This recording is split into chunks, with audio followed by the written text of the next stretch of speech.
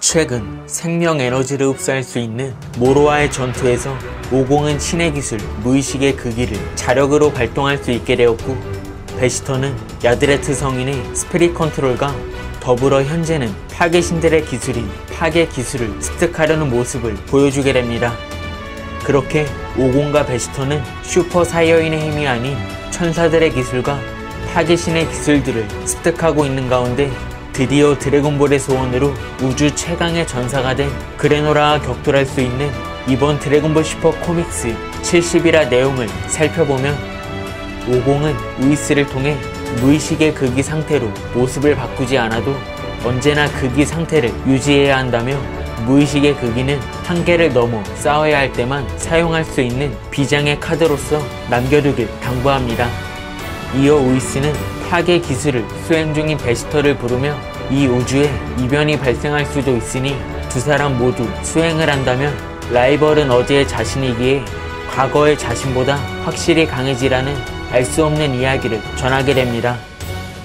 그렇게 오공은 강한 적이 나타나는 건가라고 묻자 우이스는 아직 적인지 아군인지 모르겠다는 말을 전하고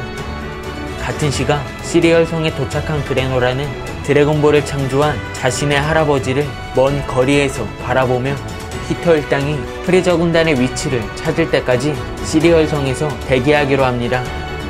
한편 우주 최강의 전사로 성장한 그레노라와 모로를 쓰러뜨린 사이어인 오공과 베지터를 격돌시키려 하는 엘렉은 그레노라와의 싸움을 멈춰 세운 가스를 진정시키며 우주의 모든 것을 알고 있는 진호가 있는 행성에 마키아 오이를 보내게 됩니다. 이어 마키는 진호의 볼에 입을 맞추자 진호는 기가 센 여자들은 내 타입이라는 말과 함께 당신의 질문에 무려 10가지를 답하겠다고 알려주게 되고 같은 시각 오공은 평상시의 모습을 유지한 채 루이스와 함께 무의식의 극기의 수행을 그리고 베스터는 파괴신 비루스의 도움을 받아 이전보다 파괴 기술을 능숙하게 다룰 수 있게 됩니다. 한편 진호를 통해 10가지의 사실들을 알게 된 마키아 오일은 이내 지구로 이동해 치치를 만나 우주의 악당을 물리쳐줄 손오공이 필요하다며 오공을 불러달라고 요청하게 됩니다. 그렇게 치치는 우이스와 연락을 취할 수 있는 부르마를 통해 오공과 베스터를 호출하게 되고 부르마는 우주에서 가장 힘이 센 전사가 나타났다는 이야기를 전하게 되는데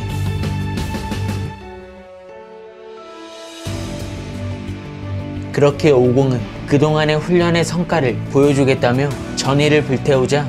비로스는 파괴 기술을 사용할 수 있는 베스터에게 파괴신들이 착용한 귀걸이를 건네주게 되고 파괴신의 기술이 천사들의 기술보다 더욱 강하다는 걸 증명하고 오라고 이야기합니다.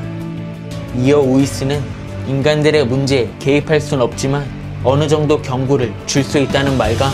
이 언어의 의미심장한 말을 끝으로 오공과 베스터는 우이스와 함께 지구로 이동하게 되고 한편 마키아 오일은 부르마가 만든 드래곤 레이더를 훔친 채 오공과 베스터가 등장하자 자신들의 우주선에 태운 뒤 우주의 악당 그레노라가 있는 곳으로 안내하게 됩니다. 이어 마키는 시리얼 행성에서 대기 중인 그레노라에게 연락을 취하며 프리저 군단의 암살자 두 명이 시리얼 행성을 향하고 있고 이 두 사람은 과거 시리얼 행성을 멸망시킨 살아남은 사이어인의 생존자라고 이야기를 전하자 그레노라는 50년 전의 복수를 드디어 이룰 때가 왔다며 전의를 다지는 모습으로 이번 드래곤볼 슈퍼 코믹스 71화가 끝이 나게 됩니다.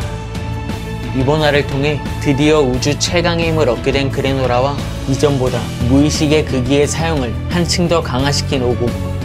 그리고 이제는 파괴신의 파괴 기술마저 사용할 수 있는 전사로 성장한 베지터가 출격했기 때문에 아무리 우주 최강의 힘을 손에 넣은 전사라도 오공과 베지터 두 명을 상대하기에는 역부족일 것 같습니다. 때문에 오공과 그레노라가 결전을 벌이는 동안 드래곤 레이더를 지구에서 훔쳐간 히터 일당들이 지구의 드래곤볼과는 달리 언제나 드래곤볼을 사용할 수 있는 시리얼 행성의 드래곤볼을 통해 우이스가 염려하던 7우주의 이변이 일어나게 될 수 있을 것 같고 과연 오공은 그레노라를 상대하며 평상시 모습에도 무의식의 그 극의를 사용할 수 있을지 그리고 베지터는 파괴신의 파괴 기술의 위력을 어디까지 끌어올리게 되었는지는 다음화 드래곤볼 슈퍼에서 확인할 수 있을 것 같습니다. 이번 영상은 여기까지입니다. 시청해주셔서 감사합니다.